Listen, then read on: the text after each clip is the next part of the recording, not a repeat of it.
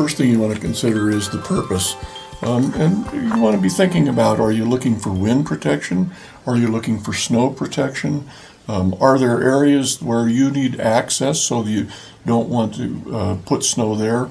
You can't make snowdrifts go away. All you can do is move them. So what you're doing with a, a windbreak when you're dealing with snow is you're simply moving the snowdrift from where you don't want it to someplace where you can tolerate it. So you want to be thinking about that. You want to be thinking about all the functions you want in your windbreak. Uh, many people want uh, not only protection from the wind, but they want to see wildlife. So then you want to select the species that are going to be uh, good for the wildlife in your area. You want to be thinking about what's there. Um, obviously, if you put in species that are going to be good for grizzly bears, probably in most of Wyoming you're not going to attract very many grizzly bears.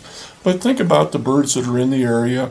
Um, think about the songbirds that you may want to bring in. Think about the opportunities for birds to nest. Um, remember, you're the one that's going to look at this uh, windbreak for the next 40 some odd years. So make sure you select trees that, you, that are attractive to you. But it's also important that you select trees that are going to survive. There's lots of them that uh, we find very attractive, but may not survive, particularly in our windy areas and in some of our more xeric sites where it's going to be very dry. So the conservation districts can give you very good information, very good advice on what trees are going to survive. So what you want to do is uh, co combine them with trees that are going to survive and thrive with trees that are uh, that you like.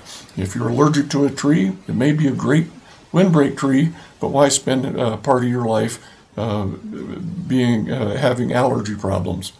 So um, that's what you want to be thinking about. And with the purpose, um, if you want uh, wind protection and, and you uh, don't worry that much about snow, you can move it closer in.